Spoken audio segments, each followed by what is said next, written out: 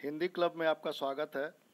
मैं रमेश श्रीवास्तव, आप लोगों के समक्ष एनसीटीई का एक सीटेट या टेट एग्ज़ाम में अपेयरिंग होने की योग्यता को लेकर एक स्पष्टीकरण लाया हूँ।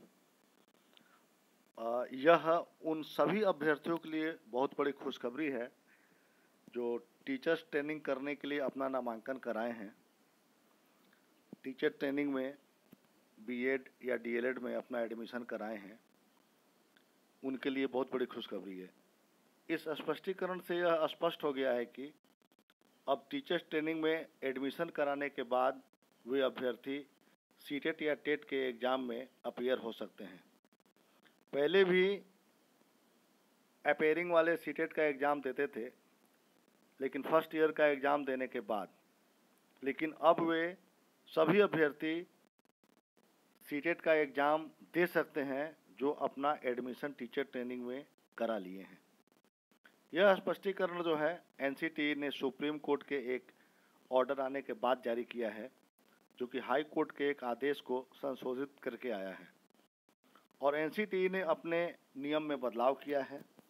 तो यह उन सभी अभ्यर्थियों के लिए एक गुड न्यूज़ है, जो टीचर्स ट्रेनिंग के लिए एडमिशन करा लिए हैं, अब वे भी जो है सी के एग्ज़ाम या टेट के एग्ज़ाम में अपेयर हो सकते हैं। बहुत बड़ी खुशखबरी है और यह सुप्रीम कोर्ट जो है, उसके आदेश के बाद से नियम में संशोधित किया है एन ने, और वह क्लियर कर दिया है कि जो परसुइंग जो वर्ड है परसुइंग कि आप जो है, उस कोर्स को कर रहे हैं तो पहले क्या होता था कि फ़र्स्ट ईयर का एग्ज़ाम देने के बाद से आप अपेयर होते थे सी में। लेकिन अब क्या है कि अगर आप सिर्फ़ एडमिशन ले लिए हैं तो आप अपेयर हो सकते हैं सी में। तो उन सभी अभ्यर्थियों के लिए बहुत बड़ी खुशखबरी है और इसमें इसने क्लियर कर दिया है कि यह जो ऑर्डर है सुप्रीम कोर्ट का, उसके अनुसार जो जो योग्यता है सी के लिए, वह ये है कि आप ट्रेनिंग के लिए, ट्रेनिंग में टीचर्स ट्रेनिंग में आप जो है एडमिशन ले लिए हैं तो आप उसके योग्य हैं, आप उसमें बैठ सकते हैं।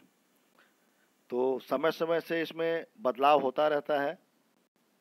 एन के जो गाइडलाइंस है, जो उसके नियम हैं, उसमें बदलाव करके ही उसने यह लेटर इशू किया है आज के डेट में। आप देख सकते हैं कि उसने साफ़ साफ़ जो है सब्जेक्ट में लिखा है कि clarification regarding eligibility of appearing in CTET तो क्लियर है कि अगर आप एडमिशन ले लिए हैं तो आप सीटेट का एग्ज़ाम दे सकते हैं। इसी के साथ आज के इस वीडियो में बस